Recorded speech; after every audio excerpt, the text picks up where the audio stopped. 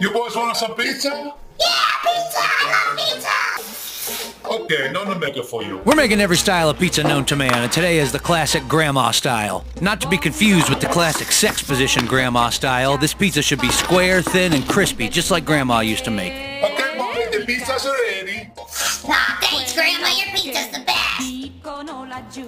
Wow.